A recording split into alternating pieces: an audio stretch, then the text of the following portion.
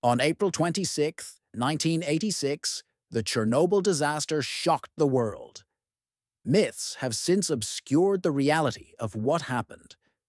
First, the explosion was not a nuclear bomb.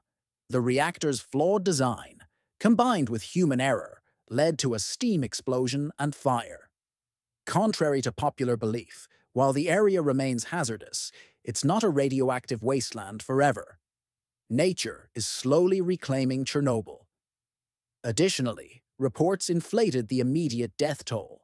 While two died instantly, long-term effects are harder to quantify, with estimates of related deaths varying widely.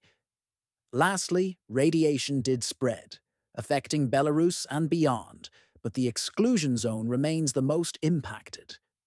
By debunking these myths, we gain a clearer understanding of this tragic event, reminding us of the importance of safety and transparency in nuclear energy.